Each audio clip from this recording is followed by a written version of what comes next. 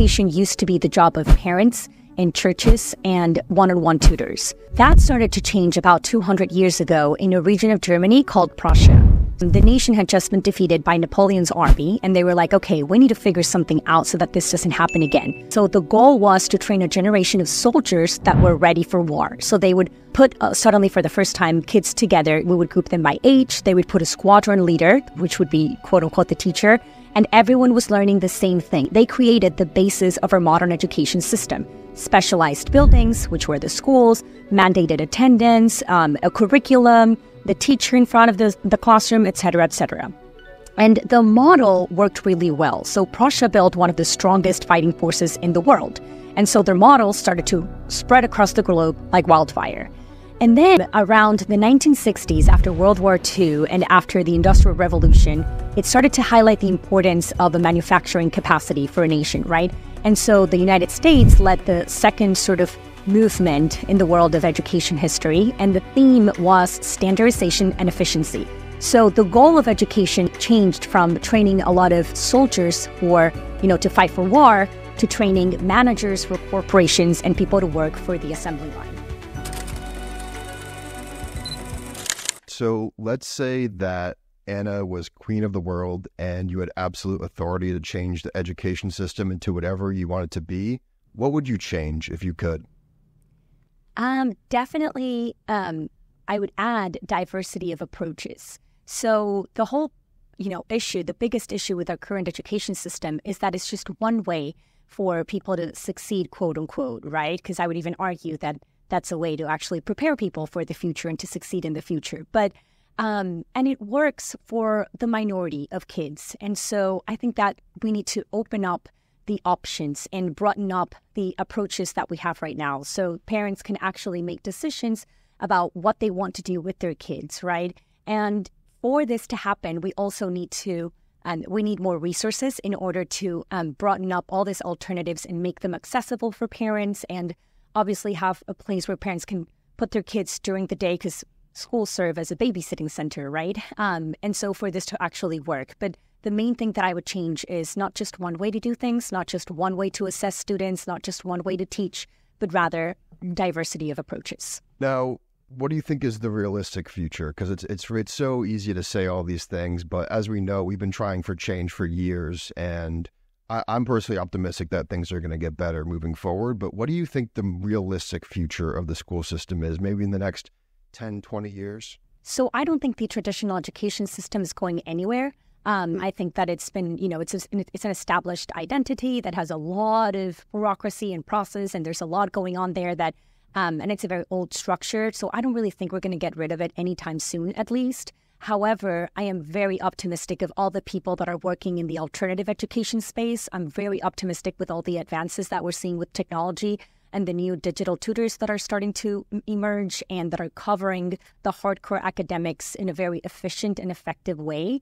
Um, and so I think that the future is going to look like less time spent in um, these institutions and more people actually pulling their kids out of school, covering the academics with this digital tutors in an hour or two a day, and then freeing up the rest of the day for kids to actually engage in things that are like sports or project-based learning or you know going out and learning in the community from museums or spending time with other kids or enrolling in the kind of programs that teaches them the soft skills that they actually will need in order to thrive in the future, right? Problem solve, how to work collaboratively, but real collaboration, not the kind of um, you know, wishy-washy collaboration with, we see in school projects in school. Um, how to, you know, fail constructively, how to make decisions, you know, under pressure. All these soft skills are super important. We're not really teaching them properly in school.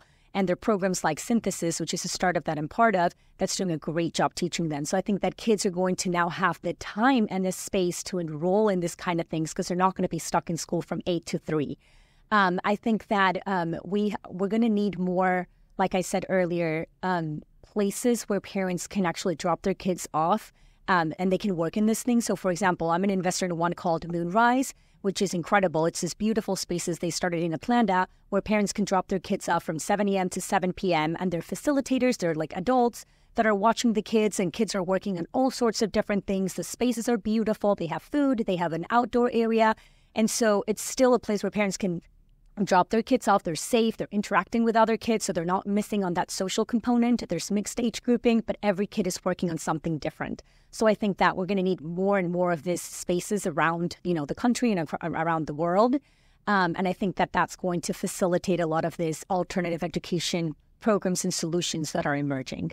Yeah, I mean, I can speak from personal experience. I feel like even the social interactions that you have in school are as valuable as the actual lessons that you're learning. And I'm a little nervous, especially with this whole remote learning thing, that we're losing that social interaction. And that you kind of need to go through that social interactions when you're in school because you, you learn a lot about life through those. Um, and so, what is it now about the school system that fails to meet our kids' needs? What, what are we doing wrong right now?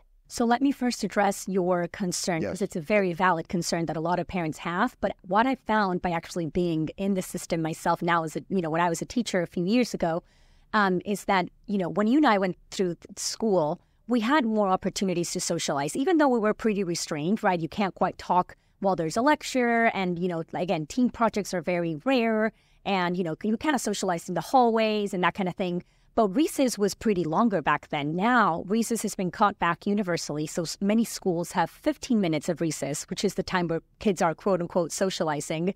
Um, then, you know, even in lines, in the hallways, everything's so structured and kids can't talk and this and that. I asked one of my students um, a few years ago, I was like, well, when do you think that you're actually socializing? And she would tell me, you know, in the bus.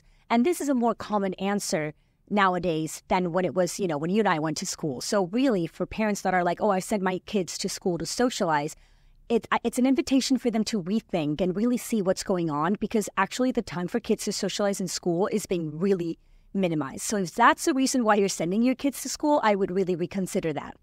And so that's one thing. Then there's also a myth around this idea that homeschoolers, and I'm not saying that I advocate for homeschooling for everyone. Like I wouldn't want to homeschool my kids, for example, but there are a lot of options in the middle between homeschooling and traditional school.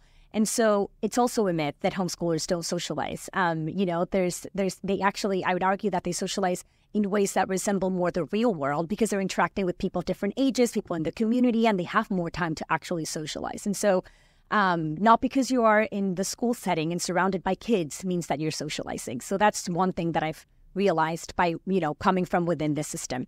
And so when it comes to what's wrong with the way we're doing things, you know, I could you know, I could talk about this for hours, but I'm going to kind of pinpoint a few of the ones that immediately come to mind. So one is this over focus on the content right? The education system was built was 200 years ago for a very different time and purpose.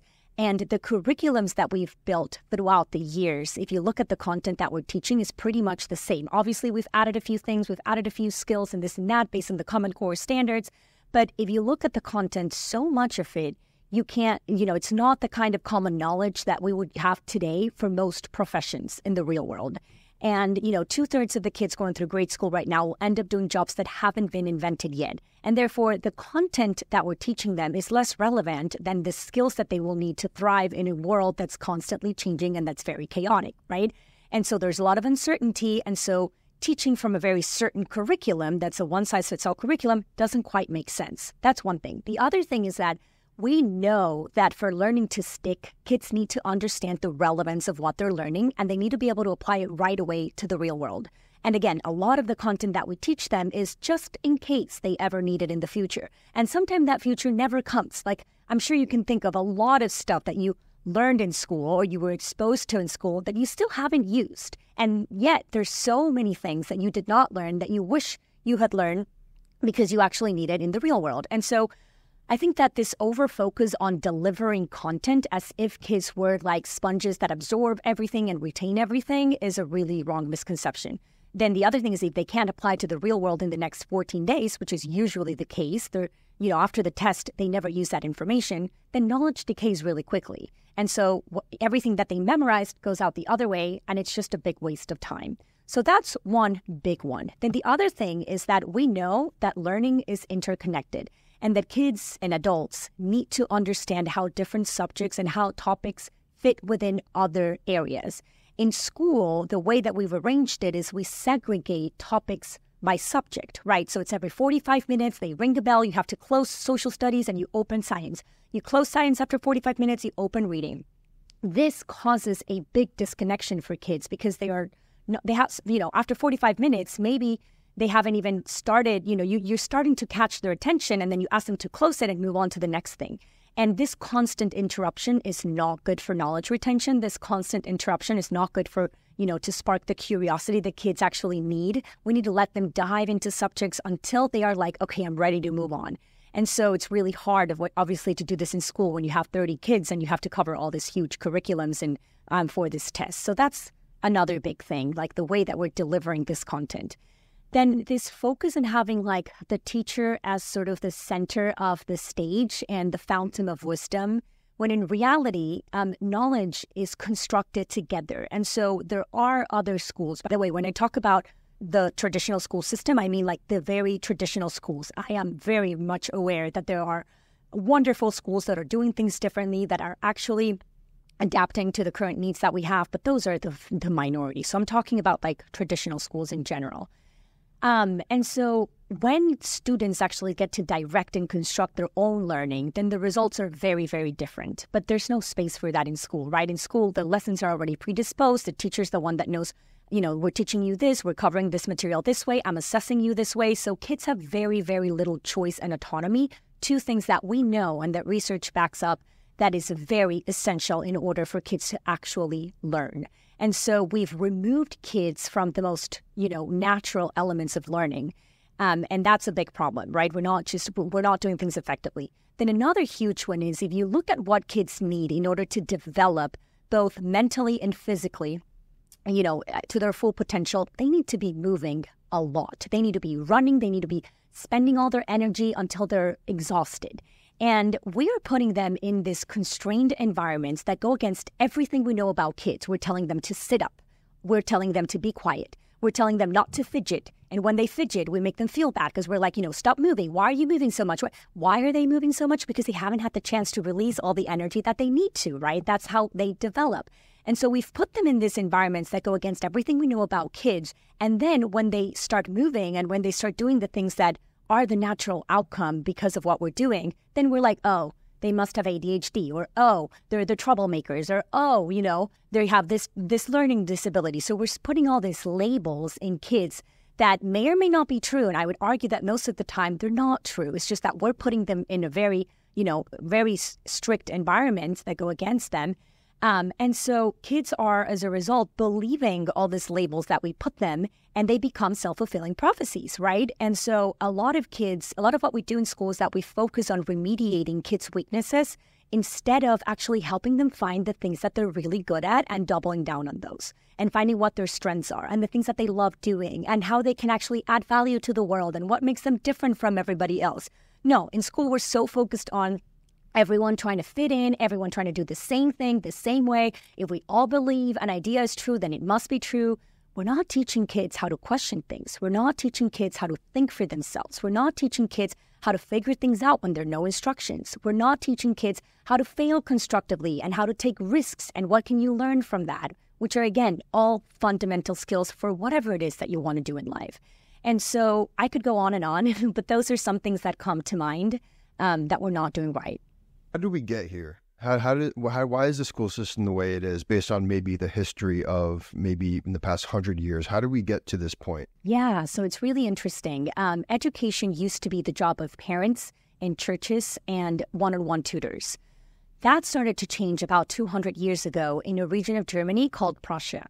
So um, the nation had just been defeated by Napoleon's army, and they were like, okay, we need to figure something out so that this doesn't happen again. So that was the first time that uh, you know a nation took it upon themselves to build to start educating the population so that they could have a different outcome. So the goal was to train a generation of soldiers that were ready for war. So they would um, put uh, suddenly for the first time kids together. We would group them by age. They would put a squadron leader, which would be quote unquote the teacher, and everyone was learning the same thing. So it was the it's sort of the ba- they created the basis of our modern education system. Specialized buildings, which were the schools, mandated attendance, um, a curriculum, the teacher in front of the, the classroom, et cetera, et cetera. And the model worked really well. So Prussia built one of the strongest fighting forces in the world. And so their model started to spread across the globe like wildfire. And then um, around the 1960s, after World War II and after the Industrial Revolution, it started to highlight the importance of a manufacturing capacity for a nation, right? And so the United States led the second sort of movement in the world of education history, and the theme was standardization and efficiency. So the goal of education ch- changed from training a lot of soldiers for, you know, to fight for war to training managers for corporations and people to work for the assembly line. And so, um, again, this whole notion of putting everyone through the same curriculum and putting everyone, you know, the same subjects and ringing a bell every 45 minutes. And, you know, anyone that doesn't fit the mold is labeled as defective. So it's sort of the same assembly line model that we used for cars and clothes and bullets. We used it for education. And so at the beginning, it worked in the sense that you were educating, you know, more people learned how to read and how to write. But then what happened was that we started adding all these standardized tests in order to measure progress, right? Sort of the way that, you know, if you would go to a car mechanic and they would try to see if the pieces are working together. So that's sort of the goal of standardized tests back then around the 1960s. And so it was they were meant to kept to keep schools accountable and make sure that things were quote unquote working. And I think that that was okay, you know, having some sort of baseline to see where kids are in certain um, subjects. The problem is that fast forward to 2023, and schools run around these standardized tests. And so they've sort of become the whole point of education. And that's where I think that, you know, we started to go sideways. But if you look at, you know, the purpose, going back to your question of of the education system, it was it was meant to create again soldiers to fight for war, and they were very good at that. And then people to work at, at corporations and factories. We no longer need those, right? And and obviously we do, but but that's what some specialized schools are for. But for the rest of the population, we need, you know, citizens that can think for themselves, that can carve their own paths, that can problem solve, that can work collaboratively to solve some of the world's biggest problems. And our system was not designed for that. And I would argue that they're actually doing the opposite of what we actually need nowadays. And you look at the rest of the world and all the other industries and how much they've evolved in the past 200 years. And yet you look at the education system and it's pretty much the same. Yes, we've added a bit of technology over here and over there, but the outcomes and the process and the way we're delivering content is pretty much the same. Why do you think we're so hesitant to change then? If we know if we know what we're doing is is maybe not the best, why why are we so stuck in this like standardized tests, like you said, like that schedule of going to class to class? What, what's holding us back from making that change? So there's a lot of bureaucracy when it comes to the education system, and there's a lot of politics involved. You know, every four years, well, we change government, like a lot of it changes. So it really depends on who's up there in power. Um, and it's it's an entity that again has been around for so many years, and and many people never stop to question it. You know, so the way that we innovate is by questioning the status quo and seeing what we can, you know, what no longer works and what we could do better. There are two things that I've detected here. One, a lot of people say, "Oh, it worked for me. Like I turned out fine, so why change it?" Right? Those people haven't quite stopped to think about, you know it's not about just, you know, fine. Think about all the things that you learned that you never use and think about all the things that you haven't learned that you actually need and think about the most important years for someone is your childhood years. Do you think that cramming them into these structured buildings for 12 years, you know, 5 days a week for 7 hours a day, is that the best time to spend kids' childhood? Are we churning out kids that are happy, that know what they love and that, you know, know how to contribute to society? The answer is no, right? And so for the majority of the people. And so we we need to do something different. It's really, really, really hard, which is why I left the school system and started to find, you know, start to work in the alternative education system because it's really hard to make this entity go, you know, do things differently. And so when you try to standardize something, and when you try, you know, you take it upon, which I guess was an original good goal, like, oh, I need to educate all of society. I need to you need to start to implement certain methods for organization, for order, you know, to make sure that everyone's kind of learning the same thing. And I think that that's part of the problem, right? And it's really hard to do at scale, which is why, you know, when you try to do it at scale, you end up with something like the education system, right? You cannot put everyone into a mold because we're all so different. You cannot force everyone to learn from the same curriculum because we're all so different. You cannot assess people all the same way because we're all so different. And so that's why I keep talking about diversity of approaches in the alternative education space. The problem is that that's hard, it's messy, it's chaotic, and it's risky, right? So that's why a lot of people are like, I don't even want to go there. But I would argue that that's how kid, you know, that's how we start to make a change, right? If what we're doing right now is not working, then we need to try something different, right? And it's not going to look perfect, but at least we have a better chance than doing what we've been doing for so many years. And I think that this is something that um, you guys are doing with synthesis, uh, synthesis, excuse me. Um, and you're you're it's almost like specialized education. And so I feel like that's going to be that's AI is going to help a lot with education in the future when it comes to giving specialized education to whoever uses it. How is um, AI going to revolutionize the education system in general? Yeah, so we're already starting to see this with um, digital tutors, right? So we at Synthesis are doing one that I think is incredible, but I know that there are other people also working on this.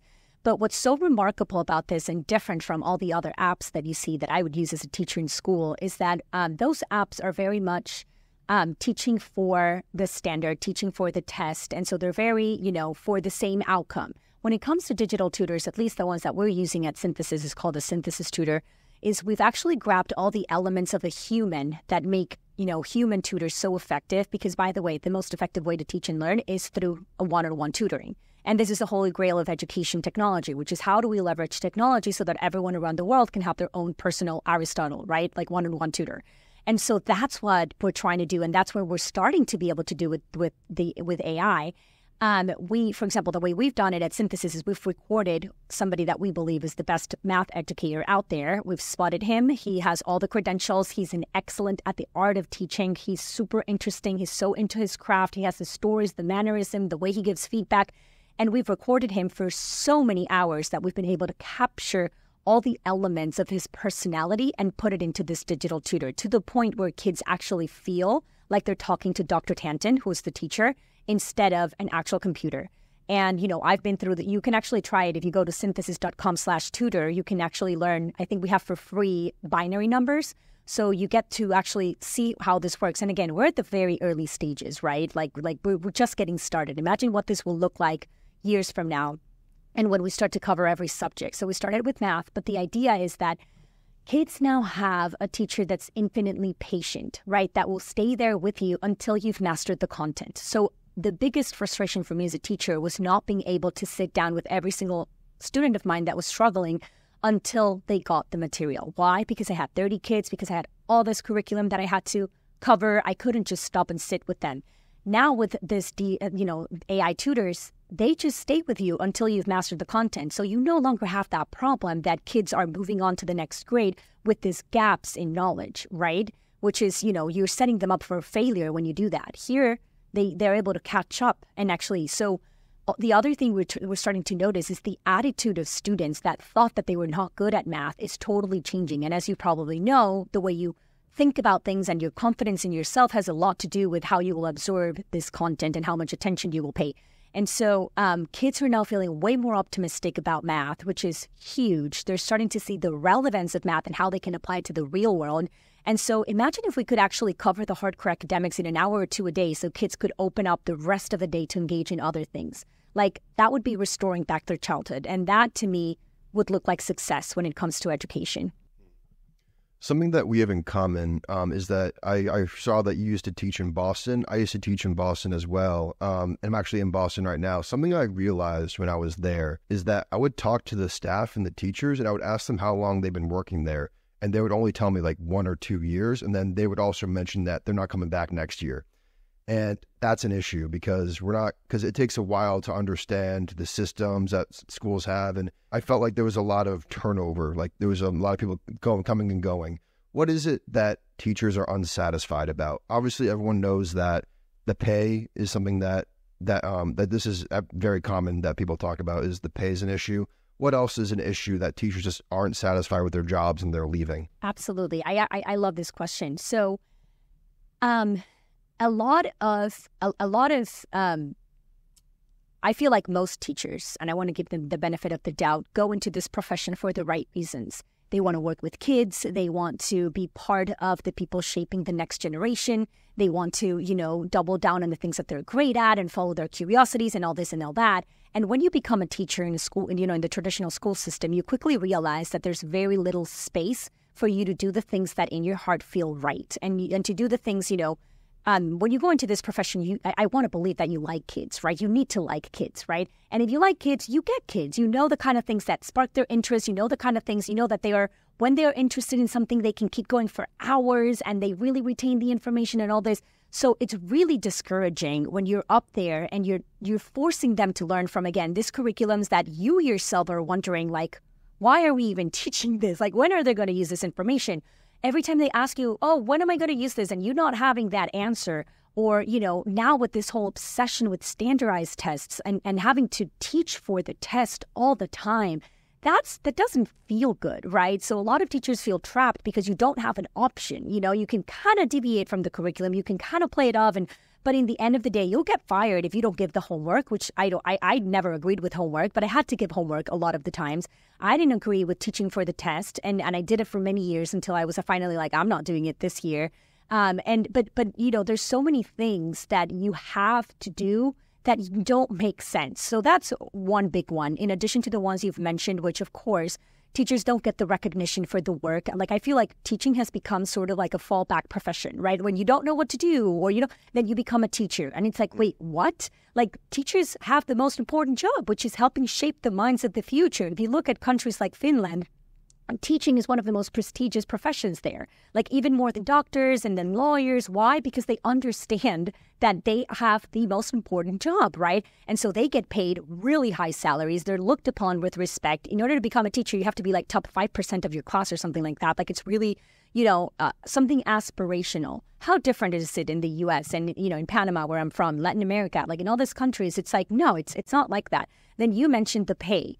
Also, when you see all this money going to the education system and to fix the education system, and you hear about it, and then you're in the classroom and you see things falling apart, and you see, like, you know, you're like, where is this money going? Like, what's going on? And how little, you know, the teachers are the ones that are interacting every day with the kids and seeing how little saying they have over the policies and over the curriculums. And they're not the ones calling, they're not the ones calling the shots, or at least have a voice in what should be taught and learned. And then you look at the people that are actually coming up with the curriculums and making up all these rules, and they know squat about education. Many of them are business people that really don't understand, you know, what it is that it takes to teach and learn. And so it's very discouraging. And then again, with time, teachers have less time and space and you know because everything's so structured not only for kids but also for teachers that we don't have the flexibility that we used to have to do things and and you know and then our, our salaries are tied to performance and again,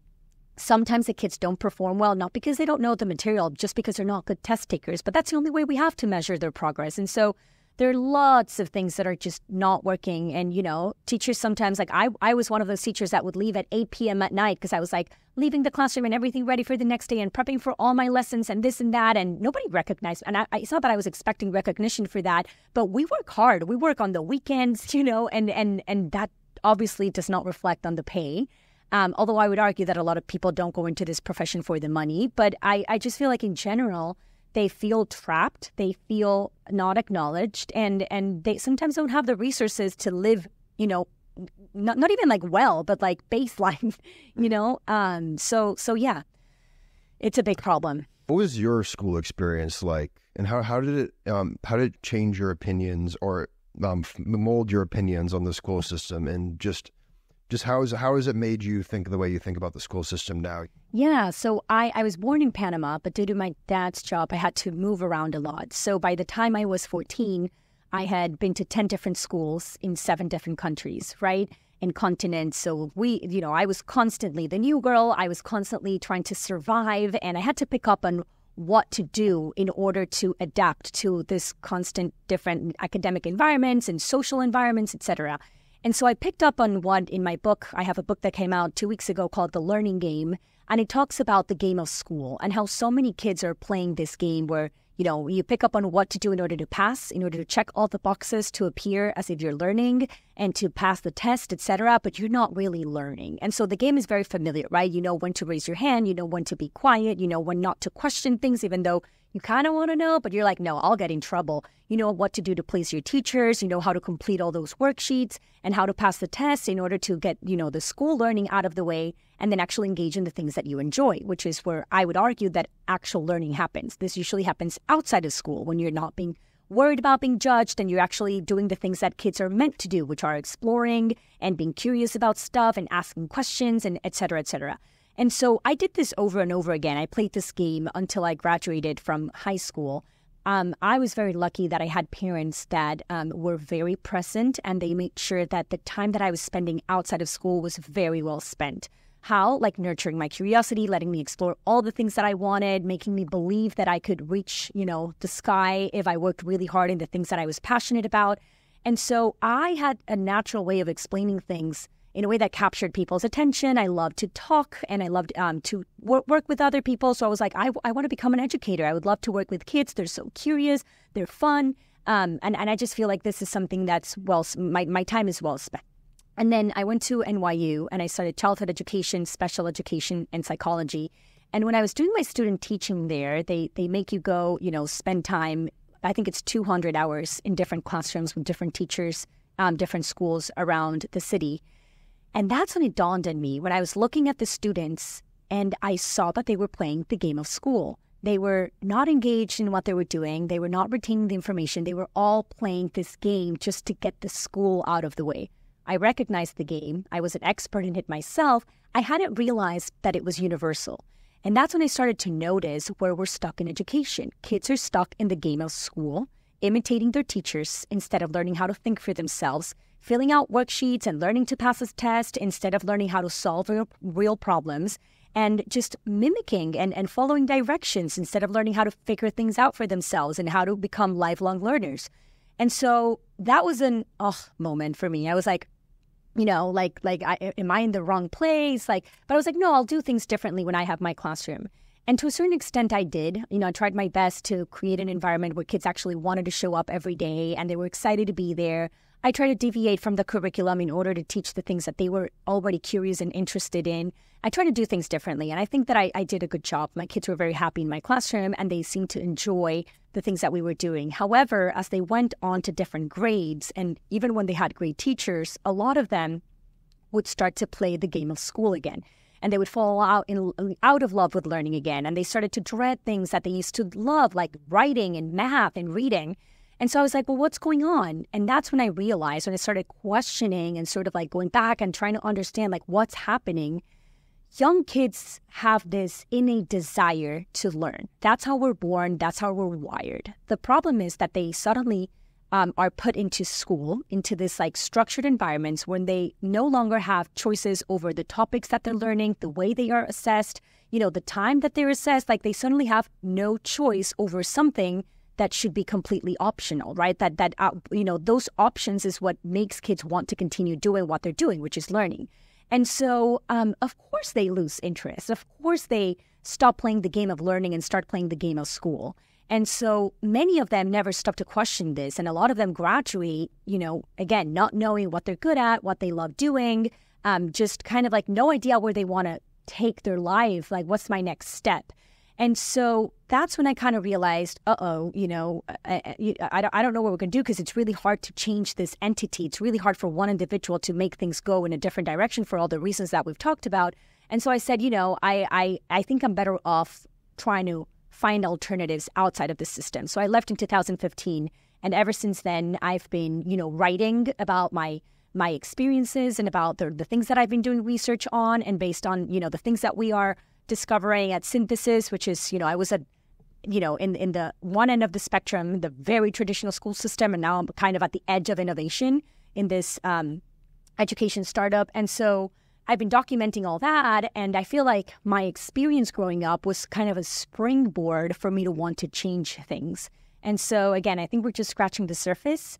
Um, in my book, The Learning Game, I talk about a lot of these things and I ask a lot of these questions. And the whole goal of the book is to make people um, reflect on their educational experiences and hopefully rethink education for themselves and start to sort of realize that there are alternatives or different ways of doing things, even if you can't pull your kids out of the system. And so that's the whole point of what, what I'm doing now. And I do think that my childhood experience in all these schools um, has had a big impact on what I do today. Yeah, what, what, gives me hope is that there's a lot of I feel like there's a lot of people with your story out there that went through that traditional system and they just see that it doesn't work, and that gives me hope that when those people are the ones that are eventually um, making decisions that hopefully we'll see some change. Um, so I want to transition a little bit to just learning in general. So we talked about how um, the school system kind of fails to actually make the kids like learn, like deep learn the stuff that they're um, teaching in class. What are some key things that we can do to to be better at learning, um, so we can actually retain information and actually learn? Because right now, I feel like the school system is not doing a good job at that. Absolutely. So it goes back to this idea of instead of focusing on the content, um, and this is something that originally I thought about when Elon Musk was like, well, he saw the same problem that we all see with the with, with the school system, and he was like, it doesn't make any sense that we are teaching all these topics that kids are then forgetting. It would be a much better approach is to pose them a big problem, and then as they're engaged in the problem, which is a lot more fun, they're going to need tools and they're going to need knowledge and information. And that's the moment where you introduce them to that or where you tell them where they can find that because suddenly that tool or that knowledge has relevance. They can see why they need that. And I realize that that's key to learn. You need to understand why you need this and you, you need to want that in order to move on to the next step, whether it is a video game, whether it is a problem, whatever it is. Like you need that information and that's when it sticks. So that's one thing. The other thing is choice. It sounds very like cliche, but it's, I swear it works like magic. When you give kids choices, you can it's it's incredible. Like even you know my students who said I hate reading, I'm never going to read, like this is just not my thing. When you suddenly gave them choices, like yes, you can read a magazine if you want. Yes, you can read Captain Underpants ten times if you want. Yes, you can grab that comic book. Like it doesn't matter as long as you're reading, what you start to notice is first they're going to read the garbage kind of stuff, which is like what people, but then they fall in love with the actual, like, oh, I have a choice. I can actually do it. They start to see that they learn things and then they start to pick up, and you would see this kid picking up the more challenging books or, you know, starting to expand their interest in the kind of things that they were reading. And it's because of the choice. And so I think that when you give people the choice, um, then you start to see very different outcomes. Um, then what we talked about earlier as well, that we know that learning is interconnected. So when you give kids a problem or a project, that's why I'm, I'm such a big fan of project-based learning, because again, you start to see how math fits into science, how social studies plays a role in this reading assignment. And so that's how, you know, learning is interconnected. That's how things click into place. the other thing that's super important that we don't realize often is that we need a lot of downtime for creative ideas and for learning to consolidate. And so if you think about, you know, let's again looking at kids' schedule, it's so packed. You know, they have back to back to back, like after being eight hours in school or seven hours in school, then they have soccer, then they have chess, then they have this, then they have homework, and then they get home, they're exhausted, family time, going to bed. When do they have time to just sit down and linger with their ideas? You know, it's very rare. And we know that this is crucial in order for learning to actually happen and for them, again, to have those creative insights and for ideas to consolidate. And so kids need more just down, downtime to be bored by inactivity and for things to be, you know, they need days sometimes for it to be like, oh, I remember this. This is how this fits here. Like, that's, for example, how I write, right? And how I get those creative insights because I need to let those ideas marinate for days, sometimes weeks, sometimes months. And then I'm like, ooh, breakthrough insight, you know? And so I think that the same is true for kids and for adults, by the way. A lot of the things that I talk about, I say kids because I look at everything through the lens of kids, but it's applicable to adults as well. And so those are three things that are that come to mind that are very simple that anyone can do, but that we sometimes overlook. So I feel like the school system isn't a very good, accurate representation of what life is like after. Um, this is coming from someone who graduated college um, a couple of years ago. What are some keys to success after college, after um, your education? Um, what are some keys to to, um, to actually succeed in the real world? Yeah. So, so in my book, I talk about two things that that I encourage parents to start doing with their kids since they're little. But I, I, I started, you know, this is something that adults can do if they haven't already, if their parents haven't helped them with this. But one is range, and the other one is specific knowledge. So the idea of range that I learned from David Epstein, this author that has a book called Range, talks about the importance of trying many, many different things when you're young, um, and quitting the ones that you don't end up liking or you're not good at, but in order to realize the ones that you are good at. And and that exposure to a diverse you know sometimes parents are like oh i want my my, my child to be a pro in soccer so i'm only going to enroll him in soccer or her in soccer for you know every day week or whatever this and that. But the reality is that the best soccer players the best basketball players the, the you know if you look at nobel prize winners if you look at scientists what they have in common is that they have they're very good at many different things. They, they come from a generalist background because they've had a chance to explore different fields and different sports and different things. And then that's what makes them eventually really good at what they do. So, one of the things that I say is give yourself an opportunity to experience a bunch of different things um, because you will get some insights that, that you didn't know before, but also because eventually they make you really good at whatever it is that you're going to specialize on. For me, for example, if you if you look at my work and if you read my writing, I, I talk a lot about ideas in entrepreneurship, in finance, in business world, in gaming, in sports. Why? Because that's where I get my inspiration.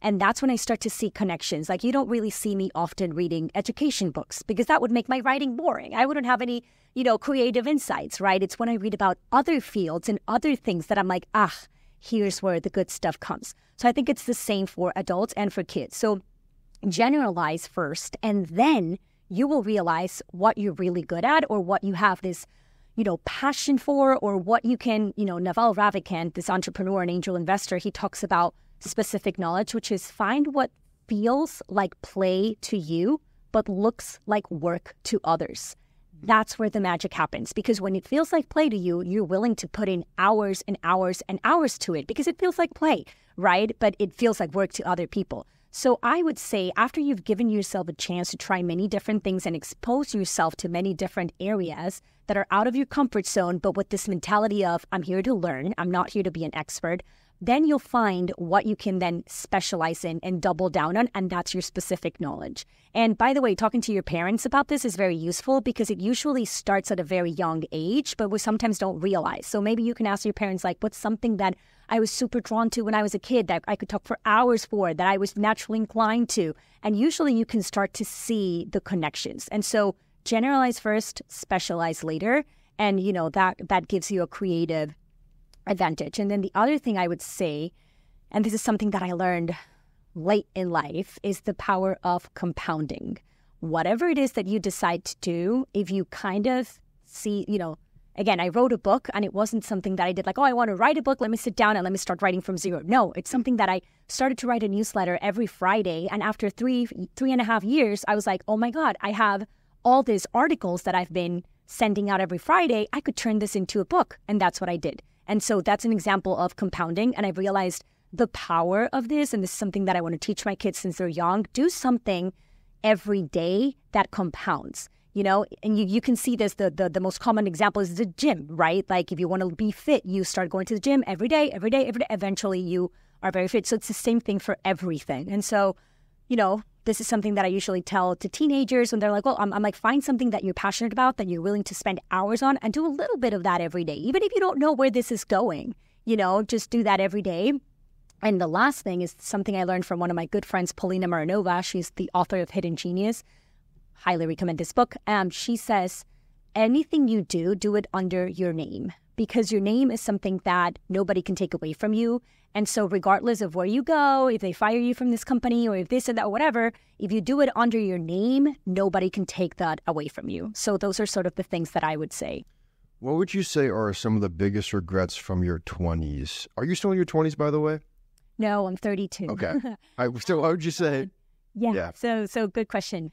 Wow. Okay. So, I mentioned my parents earlier, and they and I mentioned all the great things that they did. Um, one thing that I guess they did not prioritize um, teaching me at home, and I certainly did not learn in school, is um, financial literacy and and you know knowing how to save my money and where to put my money, and and more, more than that, just the mentality, the psychology behind money. Which, by the way, one of the books that changed my life was Psychology of Money by Morgan Housel. Again, a book that I would recommend to anybody from a very young age um, because understanding really the principles behind it's not just like oh money. No no there's a whole psychological aspect to it that i unfortunately learned very late in life and i didn't quite like pay attention to that. And it goes back to the things that we're teaching kids in school and how we're not teaching the practical things like financial literacy and how to you know use and spend your money and how to think about money. And so that's something that i regret that i that i kind of wish that i had had this mentality of saving earlier on and and where to spend my money and I mean I turned out fine but but I feel like like things could have been different had I done this and especially because I'm very conscious about this now that I have a child I want to make sure that he learns this at an early age Um, so I'm trying to think, how do I teach this, considering that it's something that I, I didn't quite learn and that I'm just starting to learn on my own now as an adult. Kind of related to this, let's say you had a minute with your younger self. What would you tell her? Ooh. I would tell her, stop trying to fit in. Yeah. So I would tell my younger self, stop trying to fit in. Um, I think that growing up and having to move so much and it, you know it, it my default state was trying to fit in seeing what everybody was doing and try to copy that and again this is something that the education system really reinforces it teaches everyone to follow the same path and everyone to do the same thing and whoever does things differently gets in trouble and are the troublemakers and the rebels um, something i realized as an adult that i wish i had realized earlier was no like you should, you know, try to stand out and it's okay to be different. And it's actually the world rewards people who carve their own paths and who think differently and who break from the pack, you know? Um, and, and I kind of wish I knew this earlier. And I kind of wish that I had seeked to hang out with the kids that were not the conventionally minded um, thinkers, right? But um, the independent thinkers, because that's where learning really happens and growth really happens. And so I would tell that to my younger self.